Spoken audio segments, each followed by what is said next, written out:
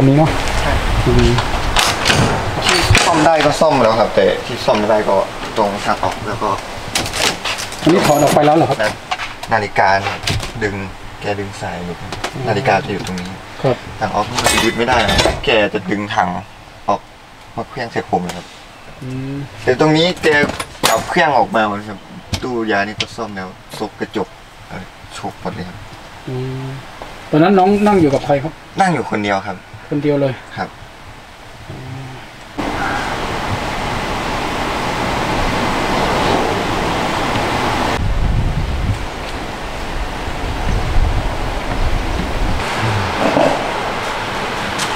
เดี๋ยวเราเนี้ยขึ้นหนึ่งเด้อ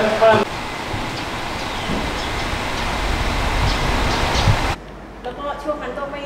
พอเห็นข่าวก็คือรีบไปนี่มาเลยนะเพราะช่วงนั้นน่ะวุ่นวายจริงๆเครียดหลายที่ ใจสบาย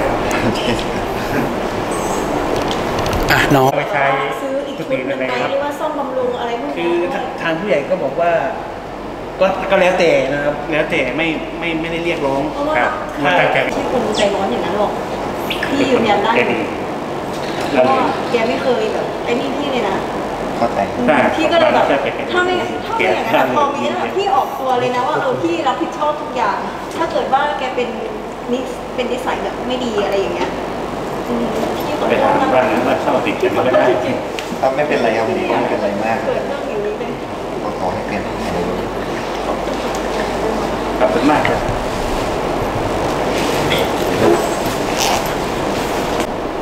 ก็ตกใจข่าวที่ออกทีก็ออกมาเกินจริงมากครับ เกินจริงไปไกลเลยนะไปแล้วครับแล้วความรู้สึกวันนี้ครับ ต่อพี่เขา ป่วยผมไปช่วยอาการดีขึ้นครับไม่เป็นอะไรมากครับ ไม่ได้โกรธอะไรแล้วเนาะให้ไม่ได้โกรธเคืองอะไรเลยครับ ไม่มีอาการดีใจมากเลยที่แบบมีคนมาช่วยอะจริงๆเพราะว่าถ้าเกิดว่าไม่มีคนไปเห็นไม่มีคนไปช่วยอะแกตายเลยนะแกเสียเรื่องมากครับไปม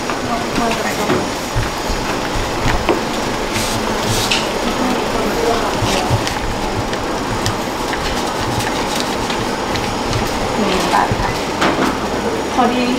ชดใช้ค่าเสียหายให้ด้วยค่ะ แล้วก็ที่เดี๋ยวเราทำที่บุญเหลืไปอด้วยก็คือทำบุญไปด้วย